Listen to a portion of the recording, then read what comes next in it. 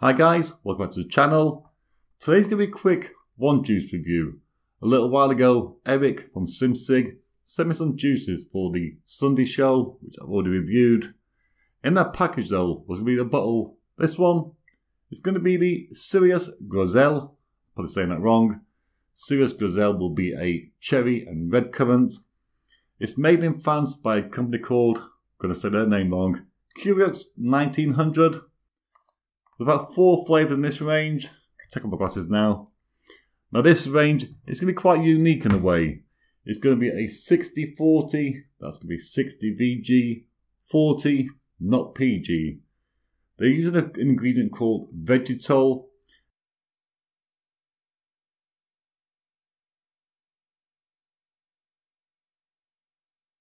There's quite a few companies over in Europe using Vegetol Vegetol is going to be a organic compound. It's going to be natural. It's used to replace propylene glycol. This is for people who have a real intolerance to PG. There may be a slight trace of PG with the flavourings, but the main ingredients is going to be VG and Vegetol. Like I said, it's going to be organic, natural compound. It performs the same way as PG. It's going to be a flavour carrier. It does give a slight harsh throat hit as well. So yeah, 60-40. I had one, one nicotine shot, but my nicotine shot was VG. So it's going to be a bit more higher VG than Vegetol. So let's try Cerise Groseille quickly.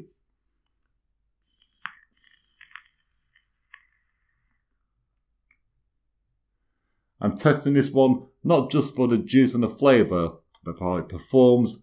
Been vaping it for about a week now.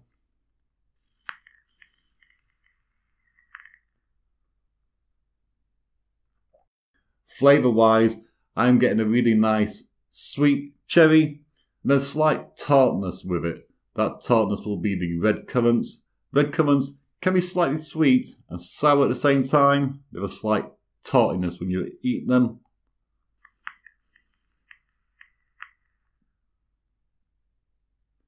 In the background, there's a few other flavours. The same spices, Sometimes for me, now and again, it tastes slightly minty, but not always. But it's a slight spicy note to it. It's a bit like a mulled wine sort of spice, mixed with the cherry and the red currant.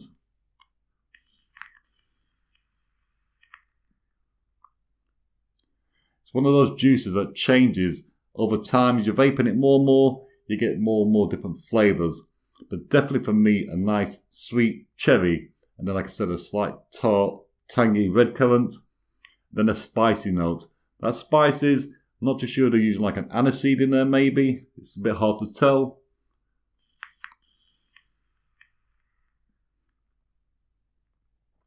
Really is a well blended juice. Tastes like I said a bit like a sort of mulled wine effect, not a mulled wine taste. I will say about the Vegetol, it's producing nice clouds and nice vapour.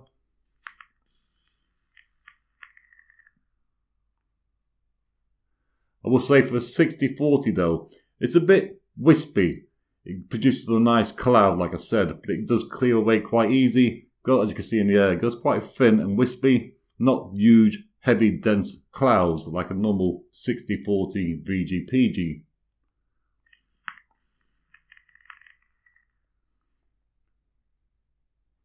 But really, really nice. It's a nice smooth vape as well, must say is going to give you a slight harshness, but I'm not feeling that. I'm getting a really smooth inhale and a smooth exhale. I could make that all day quite easy. If I didn't know any better, I think it's just going to be a normal 60-40 VG-PG. So that Vegetol is working and is working well. I don't have any sort of PG intolerance, but if you do, maybe look at this range. There's four flavours in total. We've got one bottle to try. But yeah, it's really nice. Nice flavour. Nice cherry and nice red currant. A slight spicy note as well. That's going to be, of course, the Service Gozelle, which is going to be red currant and cherry. Big thanks to Eric from SimSig for sending this over. Did enjoy this one. It's something different. It's nice to see companies trying something different. Like I said, I've been online and searched around for this Vegetol. I found about four companies in East Europe doing a few juice ranges with this liquid. It's going to be, like I said, aimed for you guys who are really PG intolerant. There is going to be a slight PG with this one, obviously with the flavouring, but it's going to be a really low percentage. Nowhere over 5% VG, uh, PG, should I say. So yeah, really nice juice, really nice flavour. Nice to see something different out there in the market.